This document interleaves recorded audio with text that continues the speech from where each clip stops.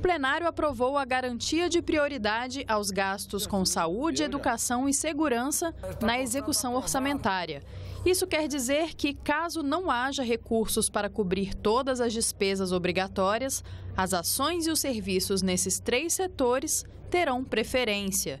E em uma situação em que as despesas ultrapassem a arrecadação, essas serão as últimas áreas a sofrerem cortes. Se tivéssemos isso há mais tempo, era possível que nossa situação hoje não fosse tão dramática na área da educação e saúde. Essa proposta da autoria da senadora Rose Freitas, sem dúvida que vem preencher uma grande lacuna no ordenamento jurídico do nosso país. E o senador Telmário Mota fez um acréscimo, um aditivo, através de uma emenda muito importante, incluindo nesta prioridade o setor de segurança pública.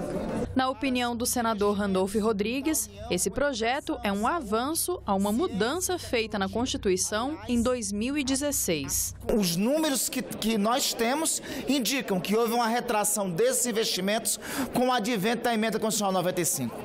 Esta, esse projeto de lei complementar traz a possibilidade de priorizar esses investimentos.